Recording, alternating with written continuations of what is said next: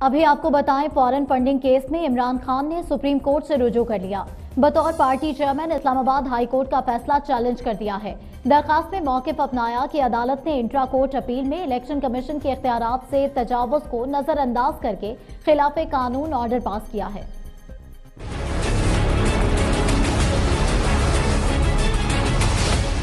بطور party chairman اسلام آباد high court کے فیصلے کے خلاف دائر درخواست میں عمران خان نے الیکشن کمیشن اور اکبر ایس بابر کو فریق بناتے ہوئے کہا کہ قانون کی نظر میں الیکشن کمیشن کوئی کورٹ یا ٹریبیونل نہیں۔ اسلام آباد ہائی کورٹ نے انٹرا کورٹ اپیل میں الیکشن کمیشن کے اختیارات سے تجاوز کو نظر انداز کر کے خلاف قانون آرڈر پاس کیا۔ ہائی کورٹ آرٹیکل 199 کا اختیار استعمال کرتے ہوئے متنازع حقائق پر فیصلہ نہیں دے سکتی۔